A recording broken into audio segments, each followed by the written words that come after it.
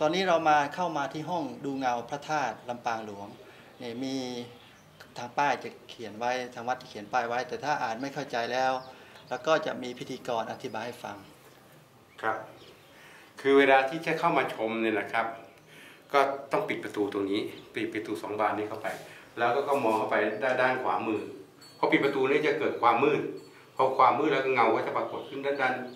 ด้านฝาผนังที่เป็นปูนที่เราเห็นเป็นปูน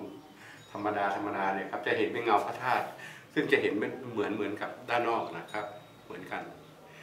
แต่ว่าภาพก็ค่อนข้างชัดเจนดีครับอาจารย์เอ่อเดี๋ยวเราจะพิสูจน์กัน ครับผมครับเราจะปิดประตู ครับผมครับอะเราจะปิดประตูครับผมครับ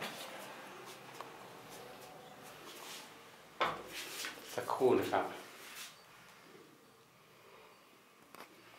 พระอาจารย์จะเห็นแสงนี่ไหมครับ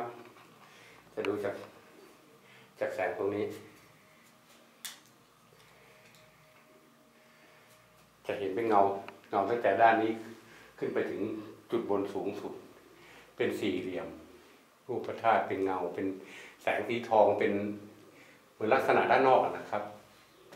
ภาพที่จะปรากฏที่เห็นเนี่ยในภาพนี้เป็น